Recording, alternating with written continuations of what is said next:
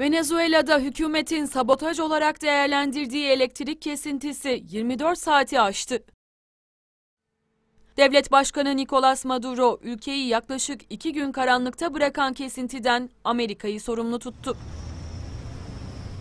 Venezuela Devlet Başkanı Caracas'taki anti-emperyalist mitingde konuştu. Maduro'ya destek olmak için Devlet Başkanlığı Sarayı Miraflores'in önünde binlerce kişi toplandı.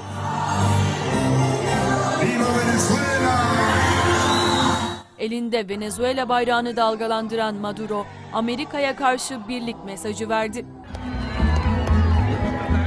Elektrik kesintisinin siber saldırı olduğunu söyleyen Maduro, elektrik hatlarına yalnızca Amerikan hükümetinin sahip olduğu yüksek teknoloji kullanılarak yapılmış bir saldırı düzenlendi dedi.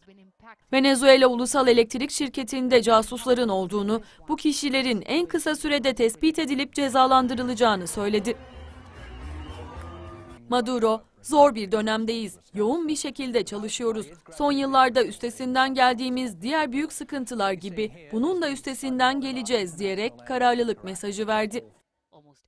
Öte yandan elektrik kesintileri nedeniyle hastanede tedavi gören 36 hasta hayatını kaybetti.